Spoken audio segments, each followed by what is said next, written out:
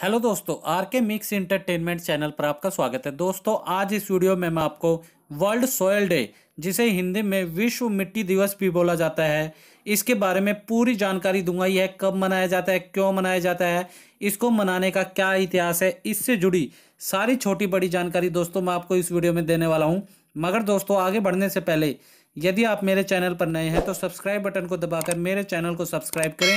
और new notifications के लिए बेल आइकन पर क्लिक करें ताकि आपको ऐसी ही वीडियोस टाइम टू टाइम और सबसे पहले मिल सकें। तो चलिए दोस्तों स्टार्ट करते हैं। दोस्तों, विश्व मिट्टी दिवस को संयुक्त राष्ट्र द्वारा हर वर्ष पाँच दिसंबर को मनाया जाता है।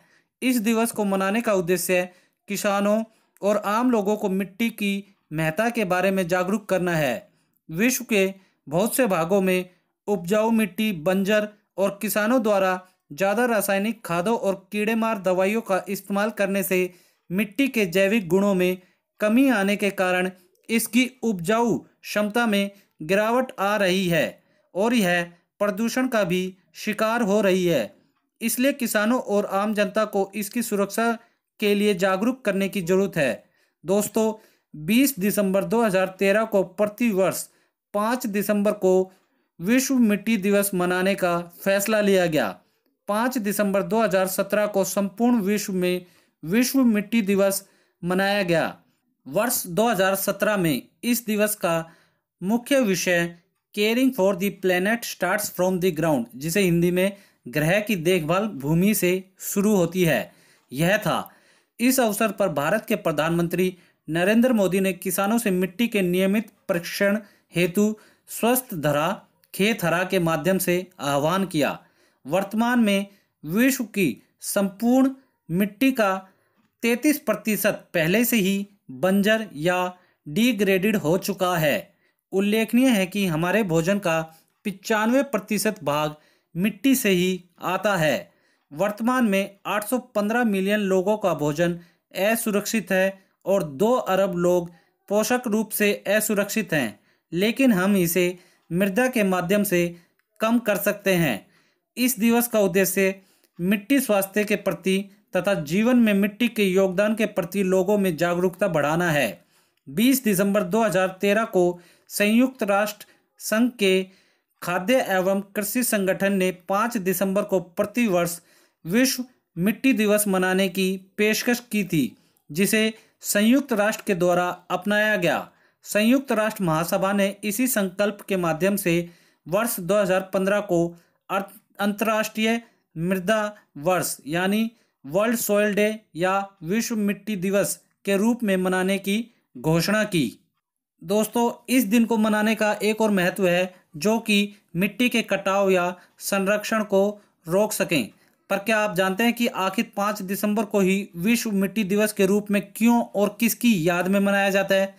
दोस्तों, हम आपको बताते हैं कि दुनिया के एकमात्र ऐसे शख्स के बारे में जिसने मिट्टी के मोल को खुद तो समझा ही, साथ ही दूसरों को भी उसके मोल को समझाया और कई किसानों की समस्याएँ दूर की। दोस्तों, दरअसल पाँच दिसंबर को थाईलैंड के राजा भूमि बोल अदुल्या देज का जन्मदिन होता है और उन्हीं के जन्म दिवस को विश्व मिट्टी दिवस के रूप में मनाया जाता है। भूमि बोल ने सत्तर सालों तक थाईलैंड पर राज किया और इस दौरान वह अपने क्षेत्र के हर गरीब से लेकर हर किसान तक मिलते थे और उनकी समस्याओं को सुलझाते थे। उनकी ज़िंदगी को सुधारने और खेती को नया आयाम देने के लिए भूमि बोल ने चार हज़ार प्रोजेक्ट्स की शुरुआत की। इन सभी योजनाओं का मुख्य केंद्र मिट्टी ही थी। दोस्तों, उन्होंने मिट्टी की गुणवत्ता को सुधारने के लिए वेटिवर ग्रास का इस्तेमाल शुरू किया, जिसके लिए उन्हें इंटरनेशनल इरोजन कंट्रोल एसोसिएशन की तरफ़ से इंटरनेशनल मेरिट अवार्ड से नवाजा गया। यह एक ऐसी घास है जो मिट्टी के कटाव और शरण को रोकने में प्रभावकारी है। यही नहीं, एसिडिक सोयल को ट्रीट करने के लिए भूमि बोल ने क्लैग डीन प्रोजेक्ट की भी शुरुआत की। दोस्तों, अगर भूमि बोल को थाईलैंड के किसानों का मसीहा कहा जाए तो गलत नहीं होगा। उन्होंने कई गाँवों की यात्राएँ की और किसानों के बीच बैठकर उनकी समस्याओं को सुना व निदान खोजा। उन्होंने ऐसी ऐसी कठिन समस्याओं का निदान किया जो असंभव लगती थी। उनके इसी अभूतपूर्व योगदान के चलते 2012 में international union of soil science की तरफ़ से पहले ह्यूमिटेरियन सॉयल साइंटिस्ट का अवार्ड मिला।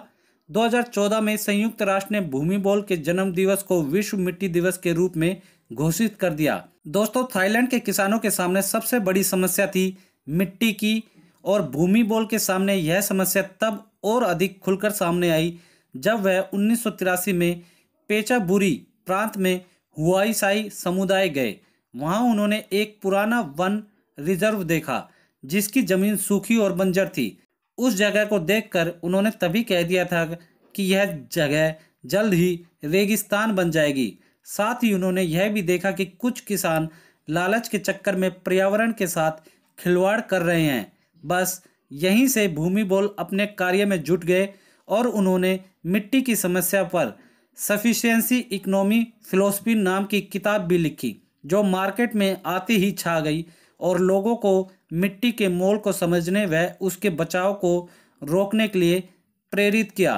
तो दोस्तों, उम्मीद करता हूँ इस वीडियो में मैंने आपको वर्ल्ड सॉयल डे जिसे हिंदी में विश्व मिट्टी दिवस बोला जाता है। इसके बारे में पूरी जानकारी अच्छे से दे दी होगी। यह कब मनाया जाता है, क्यों मनाया जाता है, किन की याद में मनाया जाता है, इसका क्या इतिहास है, इससे सारी जुड़ी छोटी बड़ी जानकारी अच्छे से दे दी होगी। दोस्तों, अगर आप लोगों को वीडियो अच्छी लगी तो इसे लाइक करें, सारी जगह अपने मैक्सिमम से मैक्सिमम इसे शेयर करें, अपने सारे फ्रेंड्स, रिलेटिव, हर जगह इसे शेयर करें।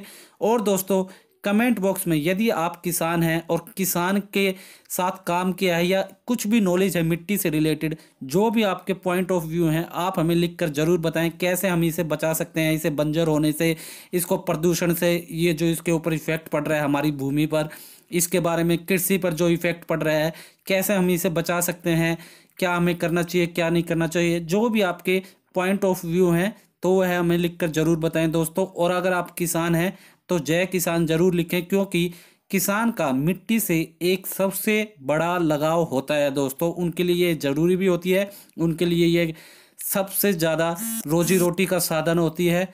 और दोस्तों, इसी के साथ यदि आप मेरे चैनल पर नए हैं तो सब्सक्राइब बटन को दबाकर मेरे चैनल को सब्सक्राइब करें और न्यू नोटिफिकेशंस के लिए बेल आइकन पर क्लिक करें, ताकि आपको ऐसी ही वीडियोस टाइम टू टाइम और सबसे पहले मिल सके। धन्यवाद दोस्तों। जय हिंद।